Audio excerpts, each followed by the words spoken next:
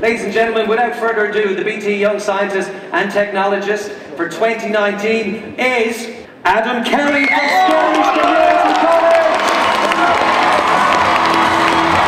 It's a little bit surreal. It's sort of like why did it actually happen? Because you know everyone like there's all 550 people here want the want the award. I'm gonna keep working on the software and stuff that I built, and then hopefully get more people to use it, and then more long term.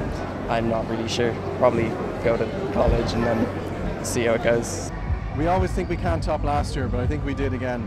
Um, the quality of the projects were fantastic, and particularly in the senior level. But the engagement from the and the communication levels and, and ability to articulate, because there's one thing doing the project, but actually being able to articulate it to a judge that standard was much higher this year than we've had in previous years. The standard and the level of ambition is reflective of what's going on in our schools at the, at the minute around the country because I'm trying to get into as many schools as possible. Uh, teachers are ambitious, parents are ambitious for this generation, but primarily the young people have that level of enthusiasm, um, that independence to be creative, and it's just so reflective here uh, in the last few days.